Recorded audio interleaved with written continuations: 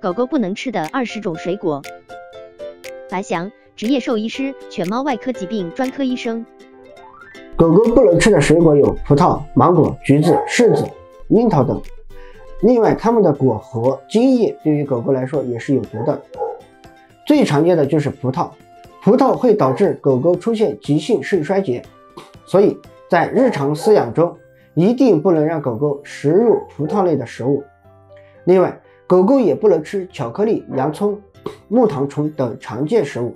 相比其他水果而言，狗狗误食玩具、鹅卵石、果核、玉米秸、袜子等常见异物的可能性较高。这些物品虽然不能导致狗狗中毒，但是很容易导致狗狗出现胃肠道梗阻。